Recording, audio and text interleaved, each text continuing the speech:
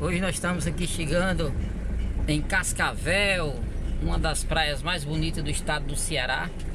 Estamos hoje nesse final de semana, dia 7 de janeiro de 2023, curtindo aqui o início do ano, né? Momento de praia, momento de lazer.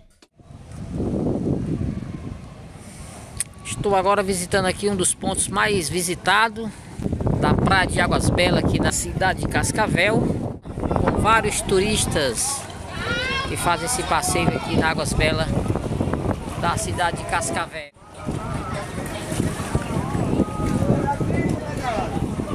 Ponto de saída, né, de várias embarcações que fazem parte do turismo aqui em Águas Belas, um passeio de barco.